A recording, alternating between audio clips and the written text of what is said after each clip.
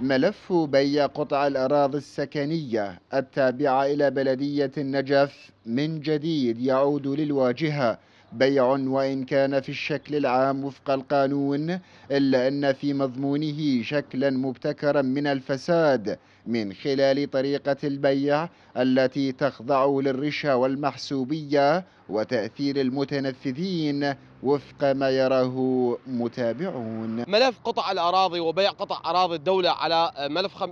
قرار 25 وقرار 15 للأسف الشديد تم استغلاله في مدينة النجف الأشرف استغلال بشع جدا وصار وجه من أوجه الفساد بحيث هناك مافيات تسيطر على هذا الملف في بلدية النجف الأشرف ويتم بيع قطع الأراضي بأسعار خرافية جدا لاستحصال موافقة الوزير. ومن العجب جدا أن دائرة نزاهة النجف والمحافظة واللجان وكل الجهات الرقابية لا تسيطر على هذا الموضوع. وتمتلك بلدية النجف العشرات من قطع الأراضي السكنية الموزعة في شتى أحياء المحافظة تقوم ببيعها وفق ما عزته الحكومة المحلية للقوانين النافذة مركزيا وهو ما وجدته في بعض جوانبه تعسفا بتطبيقه ما لم تكن هناك تعديلات تضمن سلامة إجراءات البيع.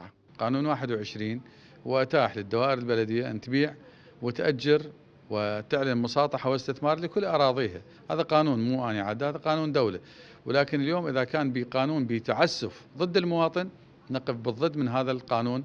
قطعة أرض بمساحة معينة آه، صار لها مثلا 40 سنة خضراء وأمام دور المواطنين. من الصعب جدا أن تجي تزيل هذه المنطقة الخضراء وتوزعها قطع أراضي سكنية بحجة أنه هذه أراضي سكنية. هذا غير صحيح. ولكن إذا كان هذا الحال أنه مناطق خضراء تتحول إلى سكن هذا ما مقبول. ويرى قانونيون أن هناك العشرات من القوانين تحتاج إلى تعديل جوهري للحد من الالتفاف عليها واستغلالها في عمليات فساد وهدر بالمال العام.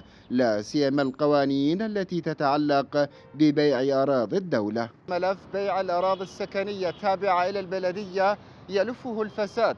فعلى الرغم من سن القوانين المعنية بهذا الخصوص إلا أن الالتفاف عليها واستغلالها خلال الفترة الماضية كان حاضرا بشكل مستمر بحسب متابعين. من النجف محمد رزاق قناة التغيير.